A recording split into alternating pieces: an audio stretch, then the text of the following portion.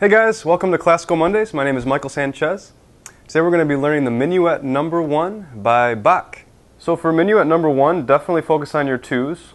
So make sure that they're in the correct position. So on the G and the D strings, where um, where the blue sticker is, and on the A and E strings, we're in low position. So it's going to sound really good if you put those in the exactly the right spots, right next to your one, or right next to your three.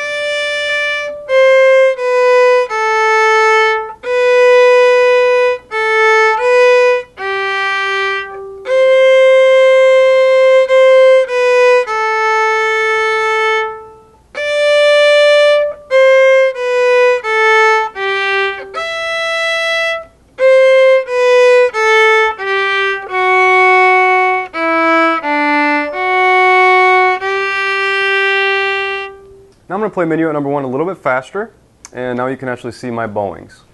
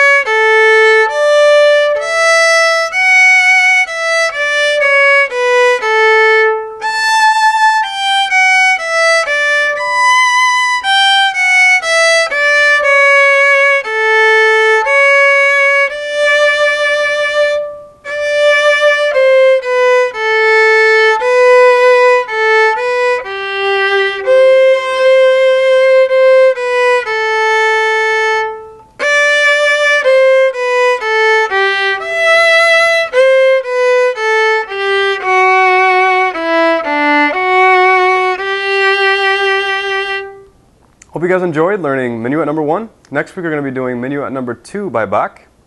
And to get some great instructional videos on how to play the violin, visit my website at violintutorpro.com.